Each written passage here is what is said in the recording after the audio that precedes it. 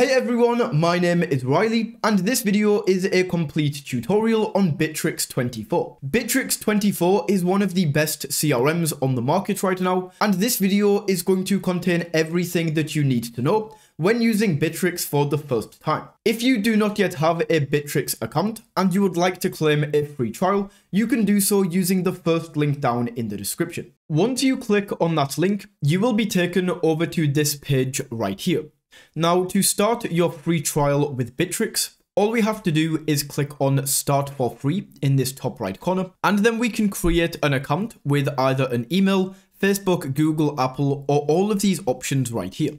Once you have created your account, it's then going to ask you to select your most used items. So you can select if you are mostly going to use Bitrix as a CRM, a project management tool, collaboration for your team, or to build websites.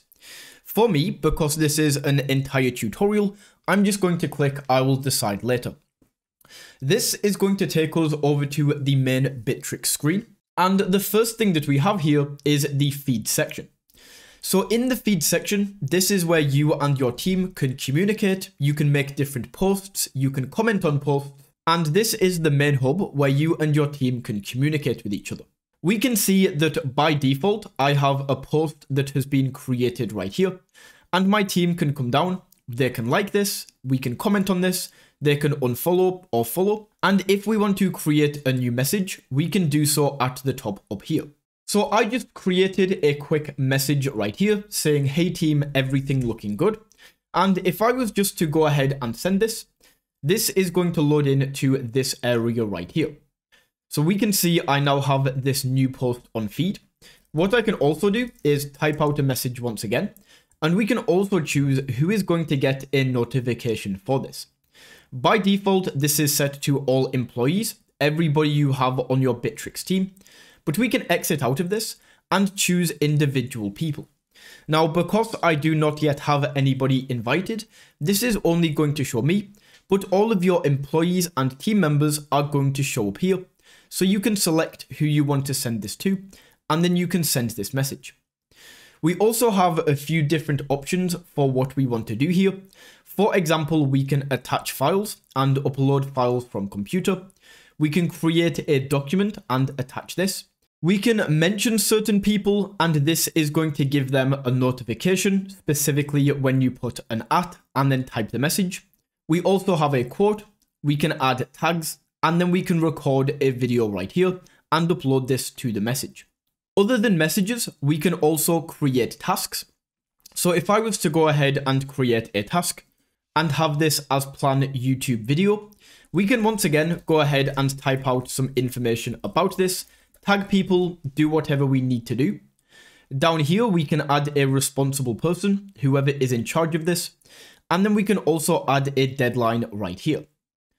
Going further down, we can open up this more section and add in more information, such as a project if we would like to tag this to a project, add time tracking to this if this is a repeated task. But for now, I'm going to keep this nice and simple, hit send right here, and that is going to create a task. We can also set events, so if you wanted to add a meeting right here, you could just add like a meeting, set the time, the calendar that this is on, if this repeats, the attendees that want to be attending this, and everything like that. We can add a meeting right there. And finally, we can add a poll. However, this is going to cost extra and you do need to upgrade for this. Down here on the right hand side of this main feed screen, we have tasks that is going to show you how many tasks you have ongoing, how many you are assisting with, set by you, and then following. We also have popular posts that show up right here. And then over here, you can download the desktop and mobile application. Up in the top right corner, this is where you can invite people to your team. So if I click in to invite a particular user, we are then going to get this link. So all we need to do is copy this link and then you can create an email for your team, send it out to your team, and then if I open a new tab, I just clicked on that link, I can then go through as a team member, create my Bitrix account, and then we can join this workspace that we just created. So just like that, this new employee has been added. this has been updated to feed, and that is how you can add new employees to your Bitrix team. You can also see this is going to send out notifications. If we click into all of these different areas, these are going to clear. So that leads us perfectly into this next section, which is chat and calls. This is essentially a messaging service where you can video call your team straight from within Bitrix. You can type a message right here. So let's say I want to message my employee and say, hey, how is it going? I can then send this. And then on my employee's account right here, they will receive a notification. And as we can see, that message just popped in right there. Next, we have calendar, and this is where you can use this calendar feature to plan out your day, plan out your team's workflow, and everything like that. So you can just use the default calendar. Right here, we have the plan YouTube video task that I created at the start. So I just deleted this, and then we can add in new tasks. So let's say that every Friday we want to have a team meeting. We can click into Friday, and then let's call this event team meeting. We can change the date and the time. So right now this is a Friday, perfect. But let's set this to later on at 3 p.m. to 4 p.m. We can then choose a location where this is held. So let's say that this is on Zoom. We can enter Zoom in here. And then if we go to the full editor, this is where we can get full access and choose this to repeat. So as this is a team meeting, I want this to repeat every Friday. We can also add attendees, so who will be attending this meeting. And I'm just going to go ahead and add the other employee that I invited a minute ago. From here, we can click on more if we want to, update things like the event color, we can add a description, set the availability for our team members during this time, and then choose whether this is private. I'm going to go ahead and click save, and then by default on every Friday, because we set this to recurring, this is now a recurring task. We can also set one-off tasks. For example, let's say we have a sales call with Tom. We can set the date. So let's say this is Wednesday the 14th. This is scheduled at 10 and will likely last till 10.30. Once again, we can go into the full editor if we want more editing permissions. Change the color up here, click on create, and that is now scheduled in. So that is how you can use the calendar area. We can also flick this between a weekly view, a daily view, and a monthly view. But this is pretty self-explanatory and a very easy to use section. Next, we are going to go into tasks and projects, and this is where you can use Bitrix as a project management tool. So let's go ahead and create a new task. We can enter a task name. So let's say create, create new Facebook ads. We can then type in a description right here about the Facebook ad.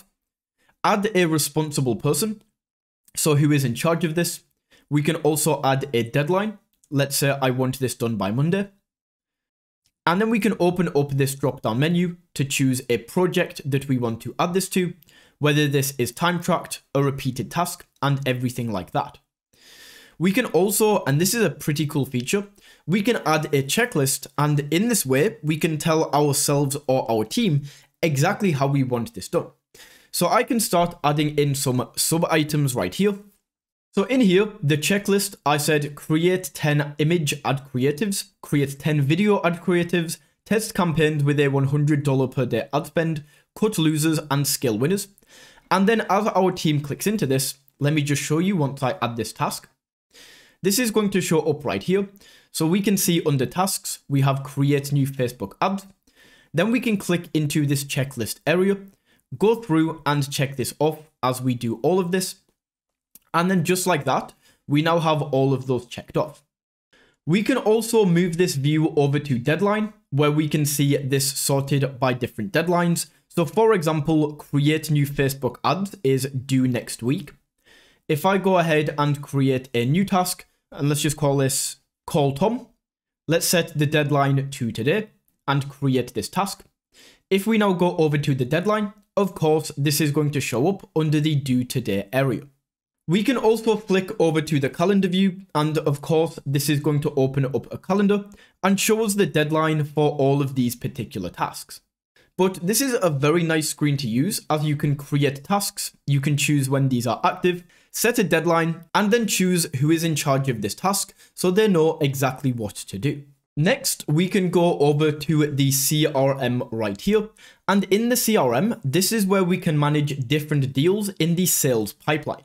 Now, before we go ahead and start creating deals here, we first of all want to go into customers and click into contacts. So this is where you can add any contacts or any leads that you have and you want to add into your CRM. In here, I can create a contact and enter in all of the information about this contact. So let's say that this is Mr. Coulson and first name James. We can also add an image, their date of birth, position, all of this information we can add in here, including an email. So let's say this is james at example.com.